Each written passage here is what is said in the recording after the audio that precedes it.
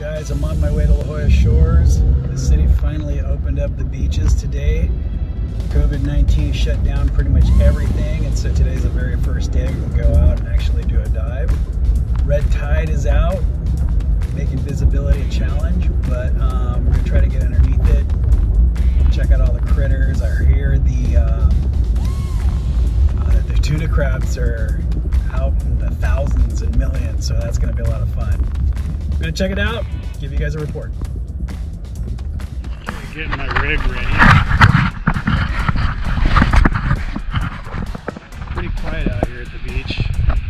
Not the same. They're still doing construction over at the uh, bathroom area. They're putting in the new mural of the of the canyon. What? That's like sewage. well, I bet it's lucky. Yeah, that too.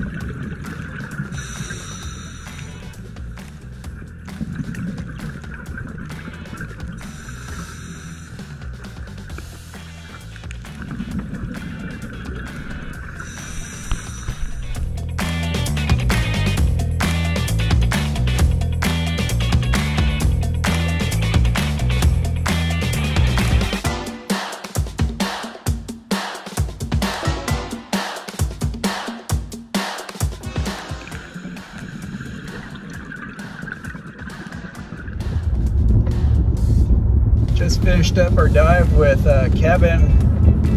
It was really nice to get back into the water. Visibility was not the greatest, I'll, I'll admit, especially in the shallows between shore shoreline and around 40 feet. It was just so mucky. I, I would say it was inches of visibility of that. It wasn't until you got to the very edge of the canyon where things started to open up a little bit I would say it opened up probably a good 15 feet or so. Um, so in the canyon, it was awesome, fantastic. I wanted to just stay in the canyon. And uh, there are millions and millions of tuna crab everywhere. So very, very cool to get back into the water. I'm glad they opened up the beaches. I hope it stays this way. I hope people don't get crazy and uh, break the law and ruin it for everyone. So please stay safe out there. So excited to be back in the water. We're gonna try it again tomorrow.